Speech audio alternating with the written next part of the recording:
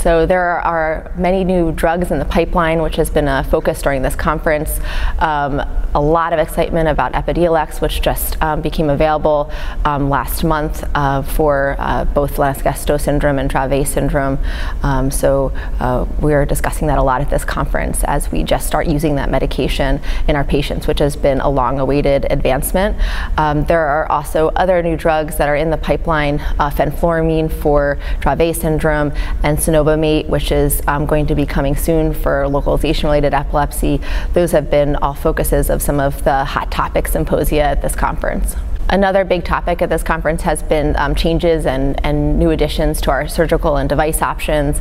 Uh, at least in the United States, um, fairly recently, there's been a big move away from doing um, grid and strip type implants to stereotactic EEG. Um, there's there have been there was a very informative session during this uh, conference talking about how to use that technique, how how best to utilize it to um, localize where seizures are coming from in our most challenging drug-resistant epilepsy patients with focal epilepsies, uh, and now fortunately, there's an expanding um, list of, of, different devices we can use in um, this population as well. Um, fairly recently, the SANTE device, or the stimulus of the anterior nucleus in the thalamus and epilepsy trial device, um, was approved. Um, it's not yet available, but it will be really soon for our patients, which adds to a growing list of devices, including the NeuroPace responsive neurostimulator system and the vagal nerve uh, stimulator. So um, these are all fantastic new options for our patients.